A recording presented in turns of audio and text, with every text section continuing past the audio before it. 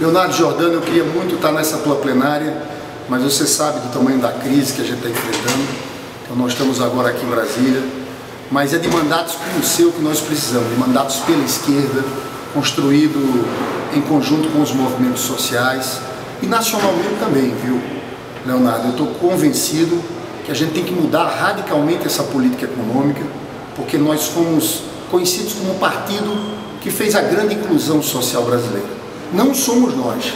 Não pode ser o PT que vai fazer a regressão social, aumentar o desemprego e tirar pessoas, porque tem consultorias já calculando que 10 milhões de brasileiros podem sair da classe C para a classe D e E.